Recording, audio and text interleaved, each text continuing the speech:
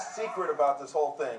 Listen, unions aren't protecting uh, child workers anymore. They're not protecting people working in mines without safety equipment.